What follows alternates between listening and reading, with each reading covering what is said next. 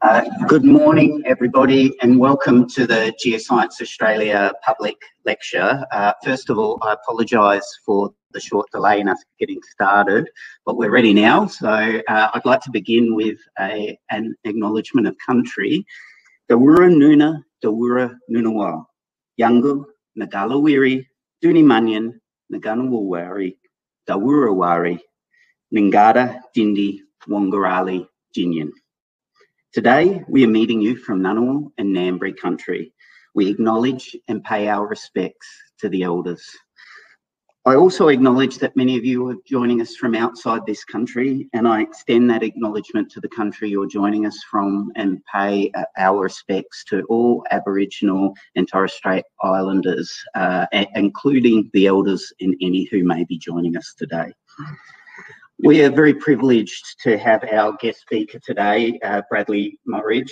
He has over 20 years experience in Aboriginal engagement, water and environmental science, and has worked in applied research, policy development, legislative re reviews and project management. He is a proud Murri from the Kamilaroo Nation, Kamilaroo Nation, sorry Bradley, um, and, and is an associate professor in Indigenous water science, in hydrogeology and environmental science, and a part-time PhD candidate at the University of Canberra. He has a long list of awards, and I'd like to read some of these to you because I think they are very significant um, and, and positions in the community. He is an Indigenous Liaison Officer for the Threatened Species Recovery Hub under the National Environment Science Program, or many of you will know this as NESP. It's part of the Australian Government. In 2009, he was named the CSIRO Indigenous STEM Career Professional, an ACT Tall Poppy Science Award winner, an ACT NAIDOC Scholar of the Year, and he received the inaugural Academy of Science Aboriginal and Torres Strait Islander Travel Award. He is also a fellow, fellow, excuse me, of the Peter Cullen Trust and International Water Centre leadership course. So very accomplished, uh, Bradley, indeed. Uh, his seminar today has had a long gestation. In 2005, he completed a master's thesis at the University of Technology in Sydney and then the National Centre for Groundwater Management titled Aboriginal People and Groundwater. This looked at the relationship in Australia between Aboriginal people and groundwater. He reviewed the dreaming, art, and oral history and observations that were made by missionaries, surveyors, explorers, and others, right up to that year where he was doing that work. It remained unpublished, Brad tells us, until he was encouraged to publish, publish it under the same title within Springs of the Great Artesian Basin, a special issue of the Proceedings of the Royal Society of Queensland. And today's presentation, he'll explore uh, that thesis and that, that uh, publication. So without further ado, I'd like to welcome Bradley to the stage.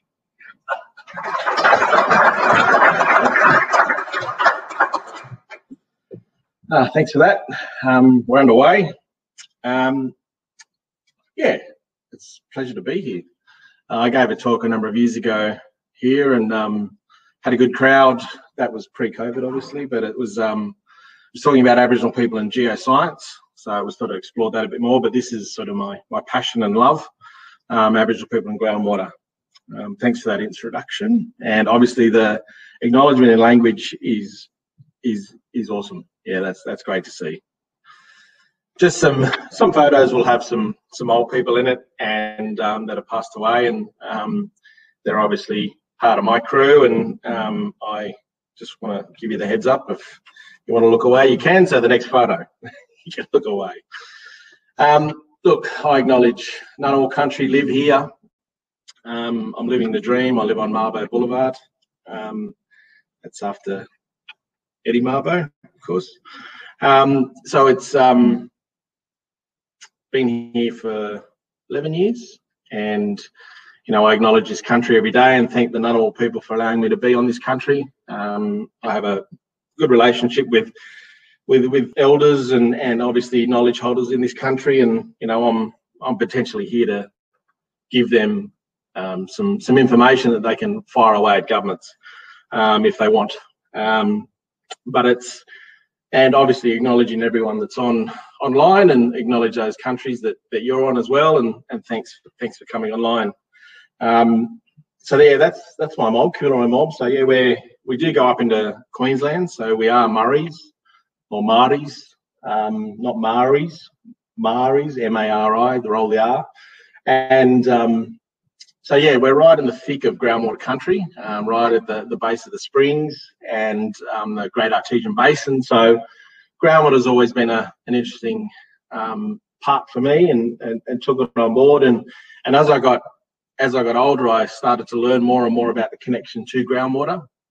And um, I did geology in the early days, straight out of uni, and um, had a great experience. Love learning about the earth, and and did some exploration in the Great Sandy Desert and come home and said, I don't think I want to be a geologist. I don't want to dig up. I think I want to fill in.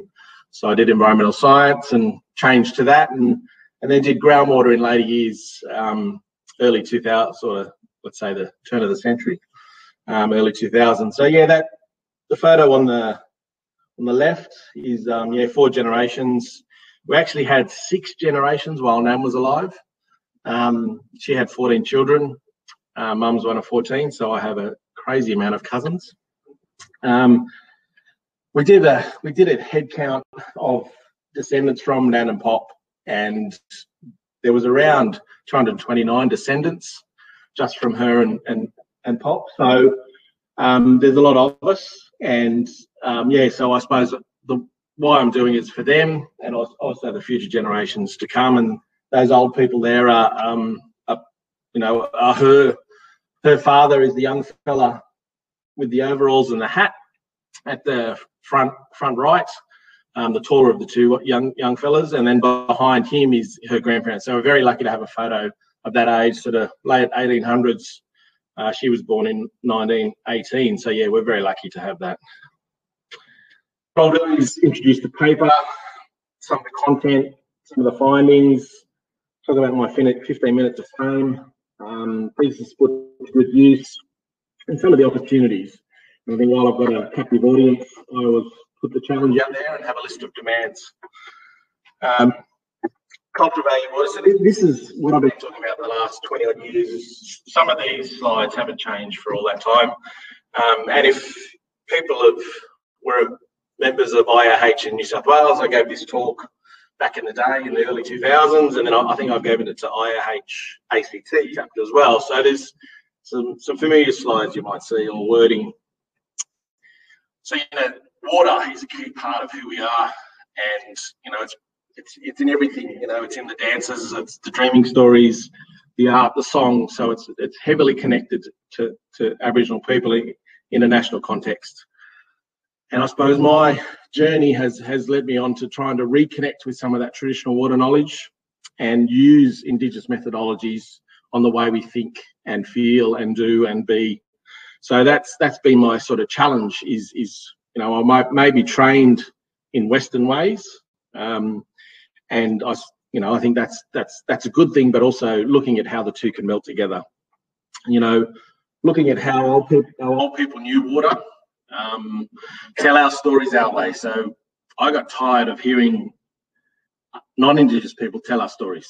That's what I got tired of, and I thought, no, I'm going to tell my stories my way, and I'm going to enter that space, infiltrate the system, give talks at Geoscience Australia, things like that. You know, just just to, to, to do it our way. Um, you know, and obviously cultural safety is a key part of, of where you are, and you want to make sure that you, you facilitate that. And then obviously work towards identifying and then and protecting those those water places. And then more in a Western point of view is a, is is validate the science and change the academies, influence the academies to think differently. Uh, that's that's my other challenge as well. So this is um, this is day one in the colony. It's a meme from Facebook. Um, any chance you can show us how to find water? So, you know, those sort of things, we've been giving knowledge from day one. Um, and then it sort of stopped for a while when we weren't humans. And um, now I think the time is right for traditional knowledge to influence the way we manage country. So as as was mentioned, I did the, the master's thesis in um, 2005. I had Noel Merrick as a supervisor, and at that time I was looking to do. Um, I was doing the the masters ex- external externally through UTS, the National Centre, and um, I got to the point where I didn't have a thesis, and I wanted to do urban salinity in Western Sydney because it was just starting to rear its ugly head and starting to crumble places around around around Western Sydney, and I thought that might have been a good idea. And then I I moved to the EPA, New South Wales, and then it was actually Noel that was in my sister-in-law's pizza shop in Gerringong. Um, saw a painting of mine and said, "Guess oh, you're Aboriginal, aren't you?" I said, "Yeah, yeah." And he said, "Well, why don't you do Aboriginal people in ground?" And I said, "Well, I'd love to, but I've just done hydrogeophysics and hydrogeochemistry and modeling and you know all this sort of." And he said, "Look, mention the word groundwater and I'll mark it." So you know that that was a a push for me to, to start this process. And I thought, I'm gonna, and then as I got into it, um, I thought, you know, this is an unexplored area, especially in the groundwater space. And um, Professor Angela Arthington, who's a surface water ecologist, um, she's come to the, the good side of water, the, the underground water. Um, she's seen the light, and um, she she encouraged me to to um, submit and publish because she was um, editing or co-editing a, or she was lead editor of the, the Royal Society of Queensland GAB Spring Edition. So I went, yeah, all right, I'll, I'll have a crack. So that's 16 years later. So never give up on your papers. Um, I, I, got it out there. And when I looked at it, and I, as I was putting this presentation together, a lot of things haven't changed. It's still the same issues, still the same challenges. Um, and I'll talk through some of those things that I that I worked with. So originally, I wanted to look at Aboriginal groundwater licenses and connections that way in a physical sense. Were they actually extracting groundwater? Were they using groundwater? Did they have licenses? But around that time, some of you might know George Gates. Uh, he was he was lead in New South Wales at that time, and um, Liz Ellis was there as well. So there was a good groundwater crew, but you know, talking to them, there was just no data. You know, on there was no identifier. There was no sort of box to tick, unless it was unless you did a word search, which I did many years later, you know, that was had Aboriginal Land Council, Native Title, Cultural Group, Elders Group, you know, it's it, or an Aboriginal sort of sounding name, or or if it was Brad Moggridge that had a groundwater license, you wouldn't know unless you knew me that I was Aboriginal and I had a groundwater license. So, which I don't, which I'd love. Um, so the challenge was that I thought I got I got nothing now. I don't have a thesis, and then he just sort of it sort of expanded more chats with um, Noel and um, I started to look at the, the, relationship Aboriginal people have with groundwater. There's sort of been no collective study in that space. And I, I, thought, what are the opportunities to, to look a bit more broader, look nationally? Um, and so I worked through, you know, the dreaming stories come out very strong. And obviously the groundwater um, and the rainbow serpent is quite strong in a lot of those dreaming stories. Survival in the driest inhabited continent on Earth knowing where groundwater, shallow aquifers, um, and you know um, alluvial systems are, and accessing that groundwater in a dry country. Art was very prevalent. The oral histories, and then any observations that were out there that I could find of of you know when you when you start moving into the the, the desert country, you know, the, these places, groundwater is going to be a key part um, of, of, survival. And obviously, up to modern day, I had, had a look at what was what was there that, at that point, as I said, was 2005.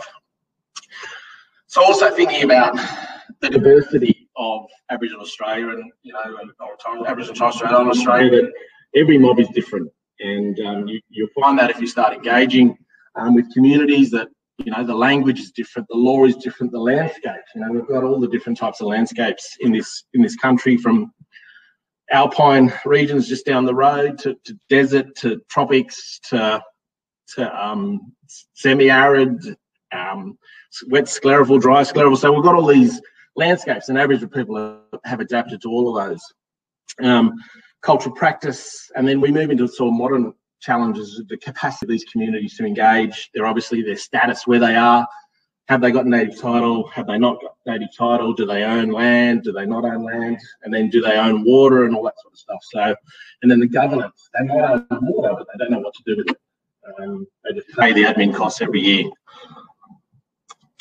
Um, so I suppose then I looked at some of these Dreamtime stories which popped up, and they were the ones that were just in in available literature, in books, and things like that.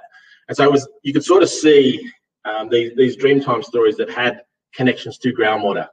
And in the in the paper, I put a few in, a few of the small ones, and yeah, there's some South Australian ones there. But as I said, the rainbow serpent was strong in the, the time of creation around these stories, and even for us up in Kamilaroi country, we have the Gudea, which is in uh, a, a, deep water hole which connects to the McIntyre in, in the Dreaming story, and to other lagoons in the region. And it's a snake with a crocodile head. You know, so those sort of stories are there, and we don't go to that that lagoon. It's highly significant, and that was that's the photo that I have on my front page. So these sort of cultural beings and and are prevalent in a lot of these a lot of these stories.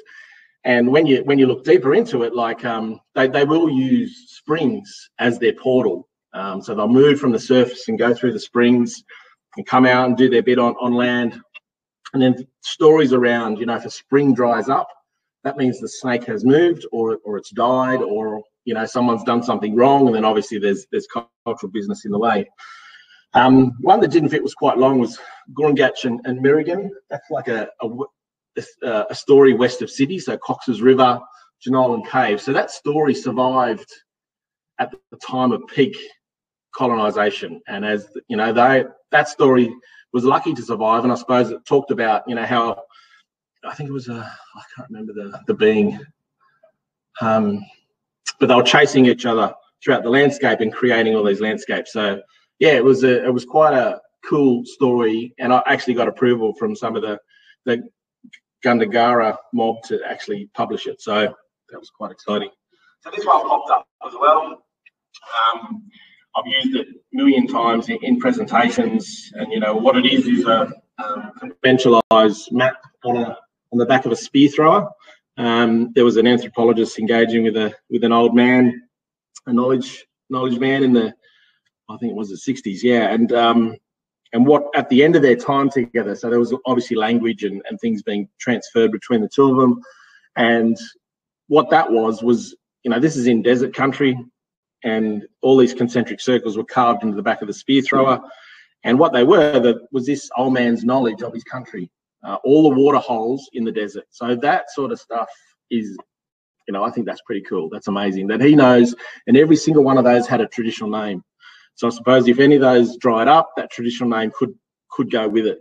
Um, so the importance of language connection as well. So, you know, in, in modern day terms, that's a GIS layer for you. You know, um, cultural landscape across across that old man's country.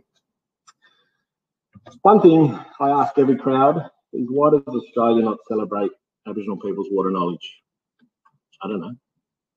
I just ask that question every time and get people to think about it. You know, why why why don't we have a say in the driest inhabited continent on Earth, one of the oldest living cultures on the planet, have a say in water? Yeah, so that I don't know. I think that's a fair question. Found that map, and you know, the map is is pretty cool to display. Um, you know, a lot of rivers. You know, you can see the Murray Darling there, sort of in the the southeast, and the to the northwest of it, you can see the Lake Eyre Basin, and then obviously all the tropic tropical rivers, and then you can see those ones that only flow when it rains in the desert country. And to know water in that part of the world, I think is pretty amazing as well. So I'll talk to you a bit about cultural values now and it come through um, strongly that I, I, find literature on the day. And you know, the, the soaks and soakages and native wells and springs, mound springs, bores, you know, modern context, hanging swamps in sandstone country. Um, and that were there was a lot of literature around them, so you could sort of talk about those. And then I did a painting. Um, I just had it in my head. Uh, painted it, and then speaking to one of the one of my elders that you sort of said, you know, you've painted these sites and I've never been to those sites. So that's just something I believe is, is built in. You know, it's um, stories are built in, connection to place is built in, and you don't know it until you go there, or, or you know, I happen to paint it. These are just some more values that I've been tracking through through time. You know, creation sites, as I said, you know, the rainbow serpent and those song lines that link from place to place are usually water places. So that, that's quite a strong connection. I showed you that that picture of that old man's um, spear thrower, that language is important, especially with water sites.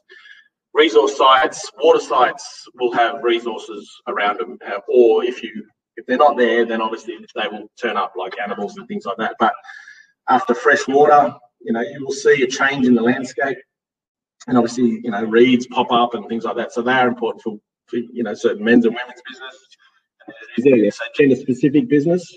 So in my country, some of the groundwater sites are women's sites, so I need to be very careful about where I go and what I talk about. Um, and so I obviously try and get clearance when I go to places. Uh, is there any places I shouldn't be going? Um, as part of the research. So ceremonial sites as well are around, always around water. Burial places are going to exist around water. This is a, a photo to show a cultural landscape. So you've got, you know, nice bubbling groundwater in the foreground and uh, surface water in the back uh, Pirie, and then there's just artifacts everywhere. So that those values and that connection and that existence of that mob at that place is there because of water. So I suppose how do we how do we maintain that water, but also protect those values as well? Groundwater, and connected values they are out there, no doubt. You know, we all know that you know some rivers don't flow without groundwater and you know that that knowledge potentially is there, um, but no one's no one's asked the mob. Teaching sites, when you go to a place, um, there's going to be knowledge passed down from generation to generation, and that that teaching aspect is a key part of water. The, the sad bit, you know, there are massive sites out there, and they're all a lot of them are around water.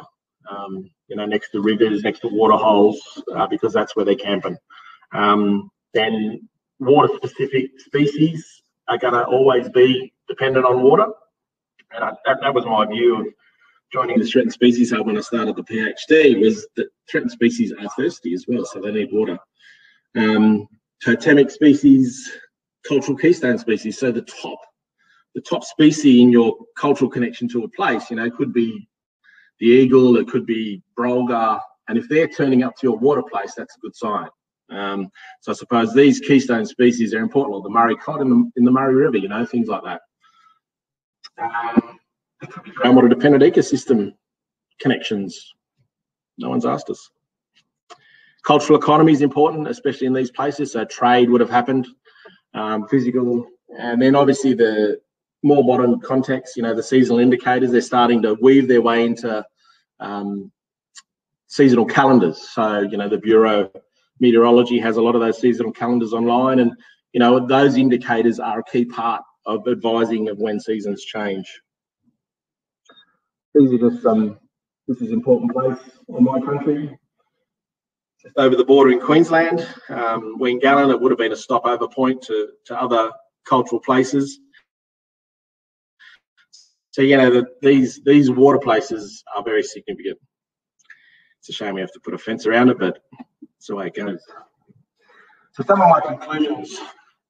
Um, there's, a, there's a bit of text there. Um, over the many thousands of years, Aboriginal people have accumulated a comprehensive and astounding knowledge of groundwater. These factors need to be taken in consideration by governments, local, state, and or national, when planning decisions are made. That way, that may affect the quality and quantity of that groundwater. If we want Australia to protect the resource for future generations, then Aboriginal people must be involved in the decision process. You know, I think that's I think that's a fair statement. Um, another one is why I'm still doing this. Um, a few studies conducted on Aboriginal people and groundwater, you know, and I found that, um, you know, there was a few regional ones. There was a Western water study in WA back in the early 90s, but, you know, very few had, had touched on, on groundwater. Um, and I think the relationship Aboriginal people have with groundwater is, is very much un, untapped. Um, the, as I said, the paper tried to record the beginnings of my groundwater research and the relationship, Dreamtime stories, and cultural knowledge. My intention was and still is to inspire other Aboriginal people and research to take subject matter further. So I suppose publishing publishing my masters these are 16 years later was was doing walking the walk, not just talking the talk.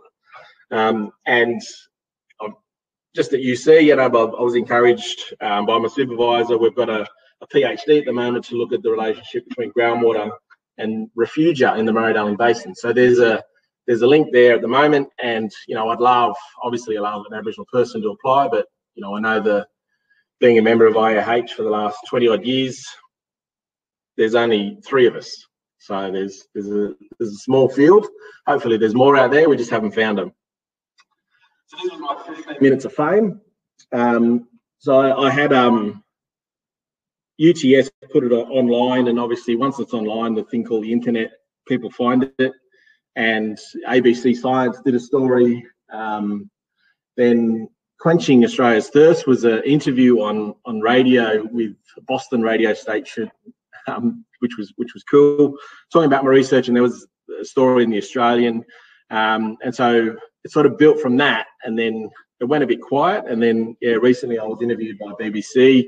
Uh, there was a bit of a documentary done, and then last year at at Australia, uh, two years ago at Australasian Groundwater Conference um, in Brisbane, we had a an Aboriginal or Indigenous groundwater session. So it was the first time IAH had, had um, built the confidence to have one. And after 20 years of pressing, um, we got there. And, you know, I think we had a New Zealand Maori lad talk about rising groundwater levels impacting on his charcoal caves in his in his limestone caves. So that that was cool. So we come across the come across the ditch.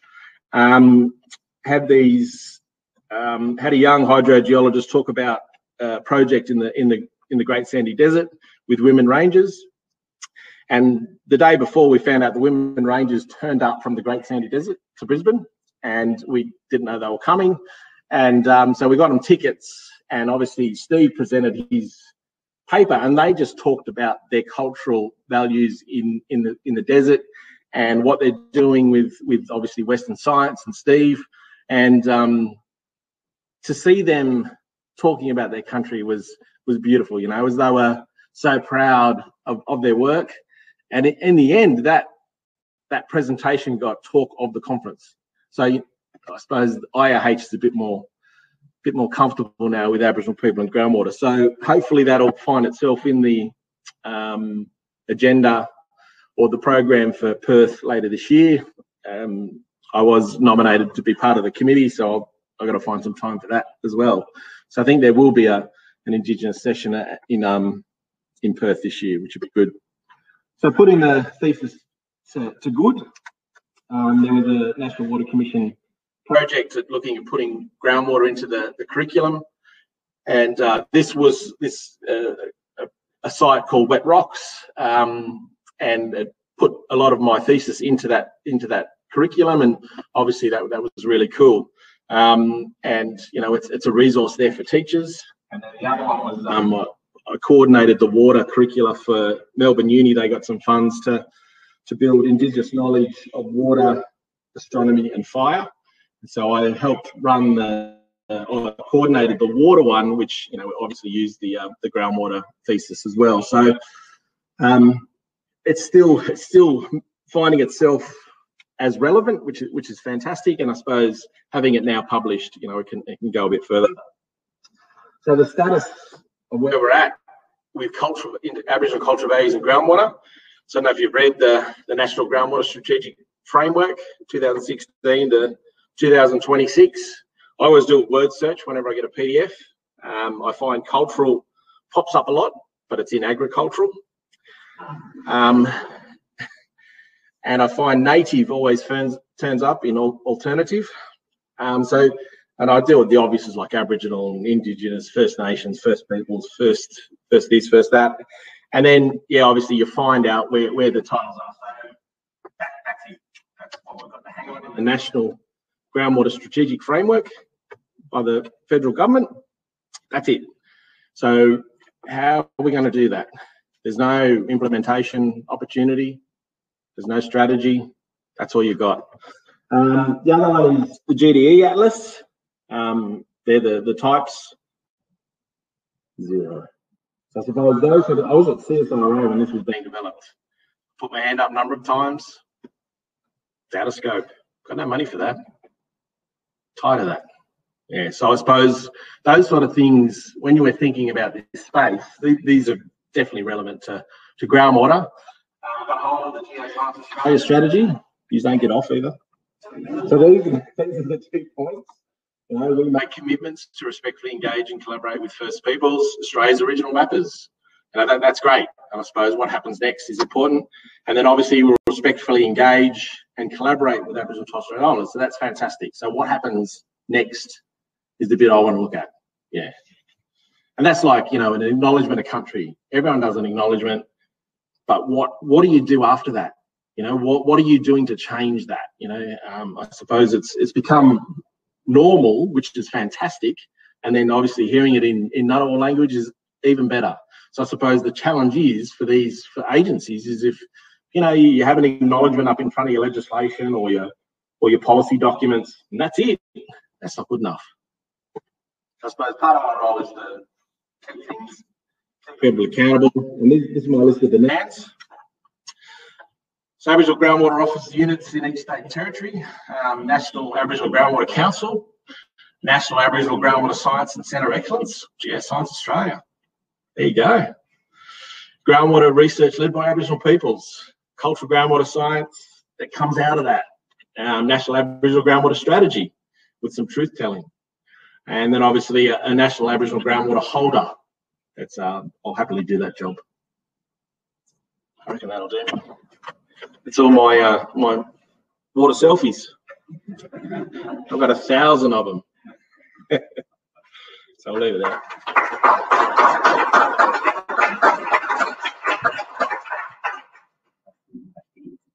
Oh, yeah. yeah. So, look, Bradley, thank you for a wonderful presentation. Uh, just as I start to look to see if we've got any online questions, I'll throw to the audience first. Uh, questions for Bradley? Comments? Uh, Ole, up the back. Thank you so much.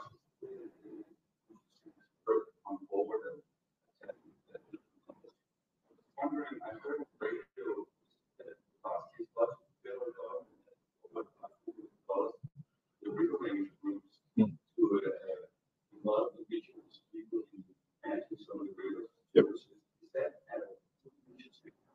Not far out or anything on that? Yeah, that, that, that's a good question. I think it is a good initiative. Um, I've been pushing for river rangers, and I suppose now we can push for groundwater rangers. You know, when you think about desert mobs, that the mound springs, that's all they got. You know, they're, they're the ones they're protecting. But the other challenge is that it's only one year's funding. So by the time you get training and your shirts, thanks, off you go. Yeah, so that if it if it's an ongoing initiative and it's successful, then yeah, then we'll we'll call it call it good. But I suppose the challenge is obviously, you know, whether they're just testing the waters to see if they do get applications and it, it becomes successful, then you know that that that might be where they're at. And if it does become successful, then that'll be a good thing. Yeah. Yeah. Obviously, they also offered 40 mil for water entitlements um, in the in the Murray-Darling Basin. So um, that was about two and a half, three years ago, and none of that money has hit the ground yet. So that's another challenge. Yeah.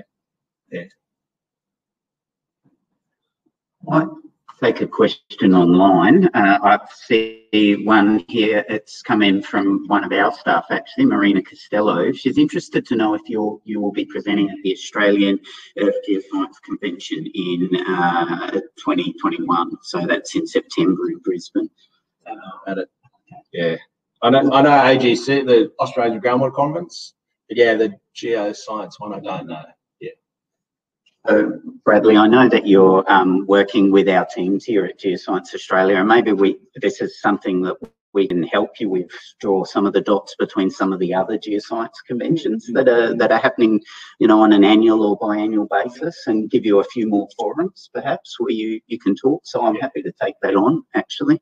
I have um, between 1 and 3 a.m. on Tuesdays available. Oh, right, yeah. It does sound like you're very busy, so maybe we'll take a ticket or something. um, uh, question from the audience, yes, please.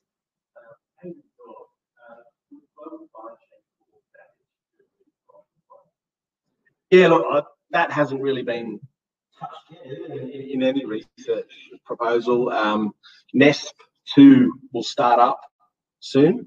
Um, I'm not sure how much water and groundwater research will be in that. so that could be an opportunity. I know there's definitely climate change. There used to be a climate change hub in the previous in NESP one, so there could be opportunities through that. Um, I know in Northern Australia there's been a lot done, especially around the, the carbon carbon um, farming and um, burning programs. There's been a lot happening in Northern Australia, but no doubt as less rainfall, especially as we get hotter and drier, there's going to be less, you know, less recharge, and some of these springs will dry up. I suppose seeing seeing on my country the cap and bore program that, that happened through, parts of that country, you know, where you just drilled a hole and this magnificent water come out. Um, so they're, they're being capped, and some of the old springs are starting to to revive themselves. So those stories are becoming um, alive again, you know. So I suppose that aspect of the cap and bore program, reducing wastage and evaporation, um, because they were just going into bore drains and running, and that was it, you know. And I suppose now that those some of those springs are, are getting some of their their life back into because there's water available now, not not running on the surface, then that could be a good thing. But yeah, definitely climate change is going to have a bigger impact. There's no doubt about that. Question from online. We've got one here from Tilly Hinton, uh, who says that she's been thinking lately about how, in the planning and environmental regulation sphere, that artifacts are seen as the main validation for a landscape being culturally significant, but actually the landscape having ongoing a- access to um, its water and cultural significance uh, is, you know, came across in your presentation. And she'd like to hear a little bit more about about that. How do we make sure we capture those? Yeah. Uh, I suppose, I suppose, yeah, in the in that planning process, that cultural values are just more than stones and bones. The old saying, you know, is it the the non-physical aspect of heritage rarely gets protected. Um, you know, you look at the um, the water trigger in the EPBC Act does not consider cultural values. Does not. Um, there's cultural heritage acts out there that are that I suppose that are evolving to consider the non-physical um, and those stories and those connections in that cultural landscape. That you know, one water hole at the top of the catchment connects to the one at the bottom of the catchment, and that whole landscape is significant. You know, and I suppose that that is starting to appear in planning, but when it's um, but the protection measures we see are still void of of you know there's no veto to say no you cannot i think in parts of the northern territory under the under their land rights act you can say no but other other states there's still the power of of lobbyists and money to actually get what they want and i suppose we can sort of see that in recent activities in, in the cultural heritage space you know juukan gorge and obviously the the challenge of, of trying to amend the, the Fitzroy River and um, things like that. So there's there's challenges out there for us, and you know, like even thinking about, I grew up in Western Sydney and New South Wales, worked with EPA, and then moved into national parks for a while in policy, you could sort of see that, you know, then the uh, the maximum fine for a person knowingly destroying Aboriginal heritage was five thousand five hundred first offence. You won't get that first offence You'll get a conviction sometimes. Most of the times you won't. And 5,500 is the same fine for serving someone under 18 alcohol. How's that protecting the oldest living culture on the planet? So there was changes in, in, in New South Wales to see more powers and more increased fines in the National Parks and Wildlife Act. So those sort of things have changed, but they still need to go a bit further. And you know, like even native title, native title does not give you veto to say no you can say no to negotiate and you go to um, mediation and you go to and then someone else will make a decision for you. So I suppose that that aspect is still got a long way to go. Yeah. Maybe another question from.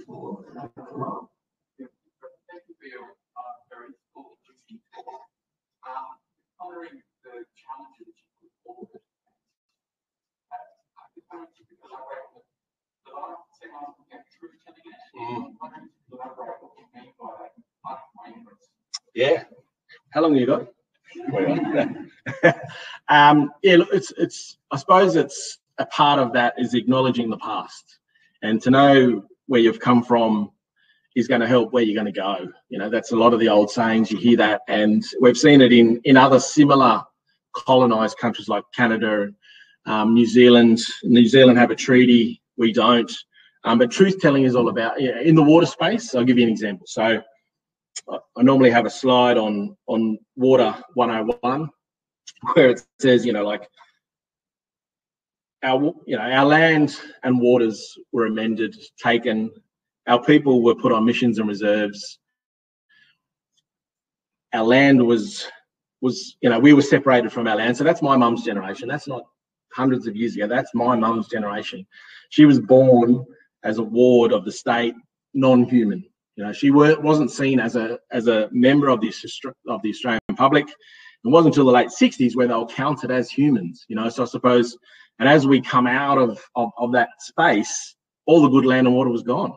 So our country had been carved up into cadastral maps on, on of ownership. And it was you know that sort of truth telling needs to be told in in in water. So it's where we've come from and that you know i'm helping out now with the i'm co-chairing the committee on aboriginal water interests which is giving advice on the the refresh of the national water initiative. So you know things like that there has to be truth telling around water because when we look at water in new south wales let's say most of the you know the caps there the murray-darling basin cap west of the divide if if my mum wants water on her country, she's got to go to the market and buy it. So that, that's that's the truth of it all. Is that we, you know, and there was a study done recently by um, Lana Hartwig that talked about, you know, in New South Wales, the last 10 years in water, Aboriginal water ownership, it's 0.02%. So it's bugger all. And that 0.02% has dropped 17% in the last 10 years. So the access and ownership of water, which which is the other thing that Aboriginal people don't get is the separation of the two, the land and water. So telling that story as well is that, you know, we saw Aboriginal populations go up during the Millennium Drought in some of this this dry country, and some of the non-Indigenous population reduce. But when you, if they were selling their water entitlements and retiring, whereas our mobs, if they didn't have water, if they didn't have land and they didn't have water, then they're already already behind the eight ball. And then, land, you know, with the reforms that happened, they separated the two, become two two markets. So further disenfranchised Aboriginal people. So those sort of truths um, need to be told as well. You know, so that that's why we're where we're at. That we don't hold water. If we hold land pre the separation of land and water, we would have potentially had water entitlements. Um, you know, there are some communities, land councils that through the New South Wales Land Rights Act, got land, and with that, they were coupled with water. And so that some of them are actually trading on the temporary market. So trading their water entitlement to build up their, their revenue and opportunities to use that water in, in the future. And then I suppose the big the big threat for them is floodplain harvesting that's coming. It's going to hit them, and Aboriginal people will be again disenfranchised. They won't have a license in floodplain harvesting. Yeah, so there's there's sort of some of the water truths that I wonder that I raise. Yeah.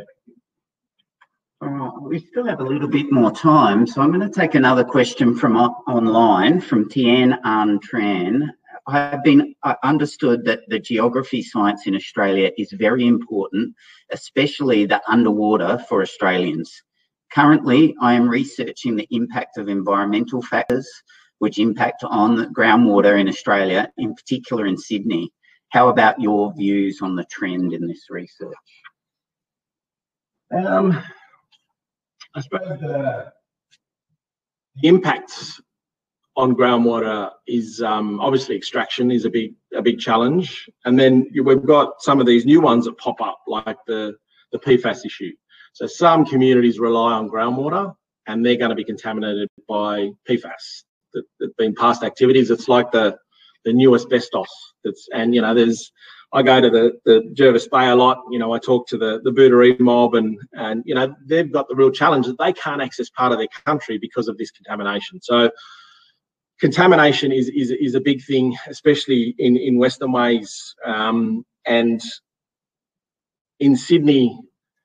Well, it's there's a lot of toxic places in Sydney. Uh, working for the EPA back in the day, you know, you saw yellow ooze coming out of the ground on the Parramatta River. And as the the river cat was, ex, you know, eroding the bank, more and more was getting exposed. So, and there was asbestos everywhere. the old the old sites there. You know, you could those sort of con- historical contamination sites. You got to look where the Olympics was. You know that that place was nasty. Um, so contamination is is is a big issue for groundwater systems, but I suppose the the missing link is is Aboriginal people's input to that. Yeah. Another question from the floor here. Um, really appreciate the candid and nature of here. Mm. Thanks also for looking at that strategy document. Those not meant to be.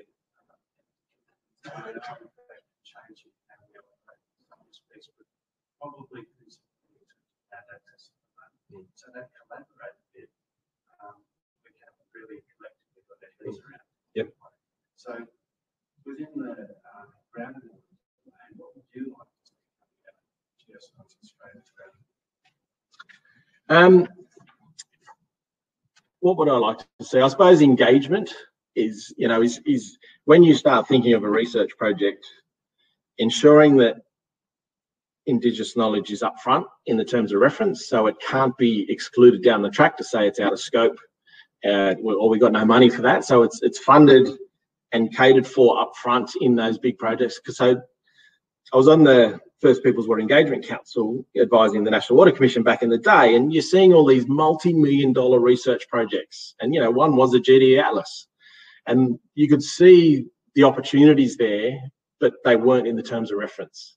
They just weren't there. Um, and then so consultants that got the jobs, oh no, we can't do that. That'll cost too much. And I suppose it's ensuring that if you start thinking about large scale research and projects and engagement that that, it, that is there up front, um, that's a good start. And then obviously how you maintain that progress throughout the whole project. Um, and then obviously there's, I think about um, talk about reciprocity. You know that what's in it for the mob. You know what's in it for Aboriginal people if they're going to engage with a, a, a, um, a government agency. What's in it for them? Because you know they've been burnt too many times.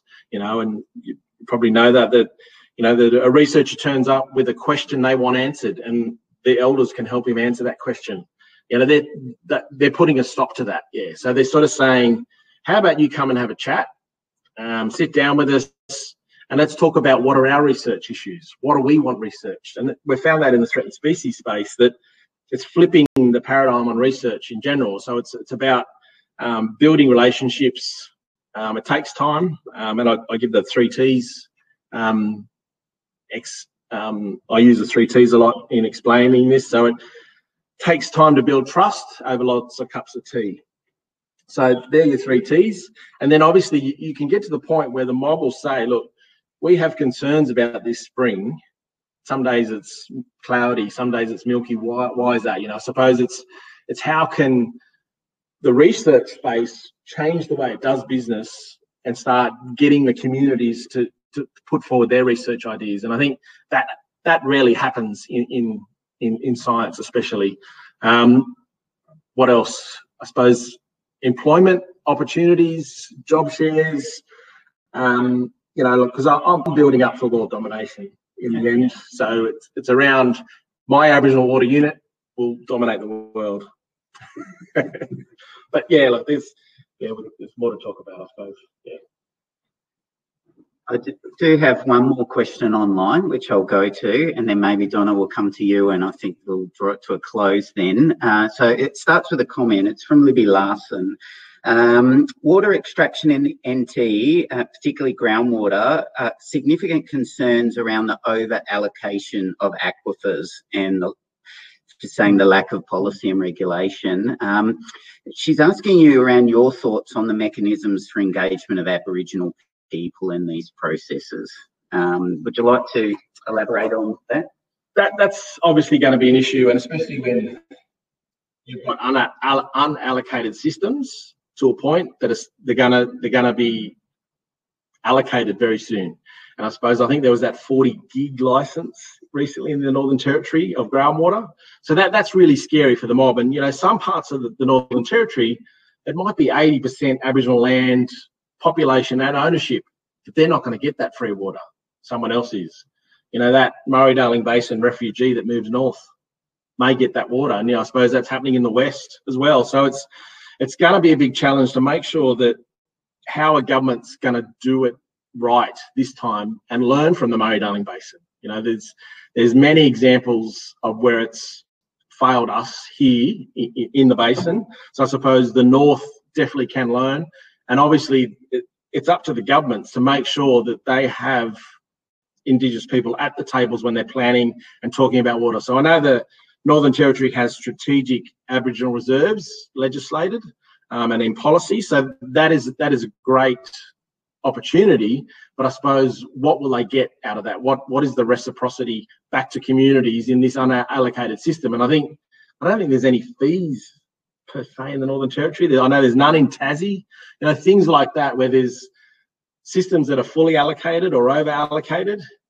The only way to get water in those those markets is go to the market and buy it, but it has to be available as well. So these these places where they're starting to allocate water, it's well, it's, it's we're going to be watching closely, but the challenge is it might be too late, and that's what we're worried about. But I think it's it's going to be a big issue for the mobs in the north. Uh, might take one last question from the floor. Michael, you had your hand up before. Just wanted to add on to the answer James we are uh, we like to be able to have that opportunity to um, projects in that rural space. So, uh,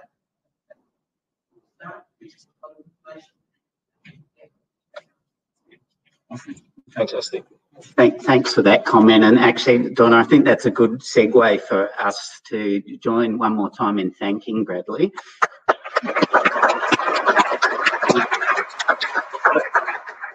I, I, would like to say I really liked your three T's. They were um, time, trust, and tea. And I know that we shared a coffee together this morning. And I know also that you are actually meeting with the groundwater team after this presentation. So, look, I'd like to thank you for your time today for the presentation and for meeting with us because we definitely recognise you're a very busy person, but we are uh, very interested in what you have to say. So, look, thank you for that, Bradley. Uh, next week, we will have a, a, presenter from Geoscience Australia. It's David Huston, who's actually in the audience here. And what he's going to talk about is findings of recent collaborative research into convergent margin metallogenic cycles, a window to secular change in Earth's tectonic evolution. So that will be 11 o'clock next week, and you can join us here in person or online. But otherwise, thank you everybody for joining us today.